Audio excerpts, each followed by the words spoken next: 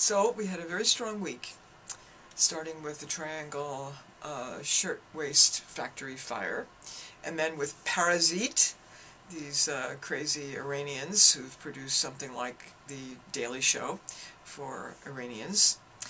And then on Wednesday, I traveled to UW Fox Valley, where we covered the fourth annual uh, Fox Valley Book Festival with a fabulous writer, Luis Alberto Urrea, who is has a wonderful range as a writer. is both a journalist and uh, his book um, Along the Devil's Highway uh, was a Pulitzer Prize finalist, so that says it all right there. But he's also, he has a wonderful sense of humor.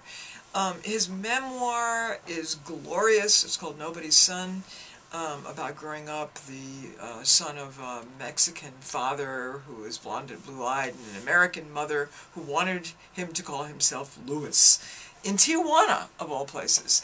And he explores both the harrowing dimensions of the borderlands and also the hilarious.